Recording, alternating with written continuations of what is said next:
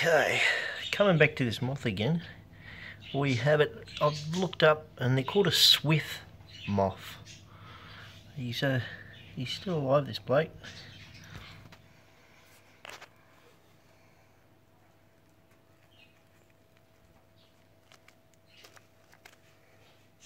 As you can see, he's a, he's a big boy.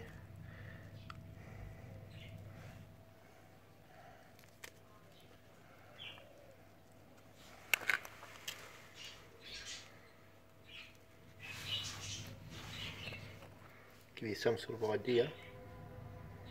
There's my hand.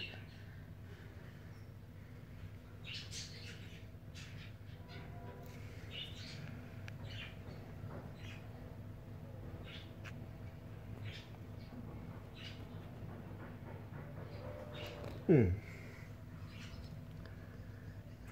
Anyway, for all you bug enthusiasts out there, just sort of show what a swift moth is please feel free to correct me if, if, if you find out that this isn't what I'm saying it is, because I will change it.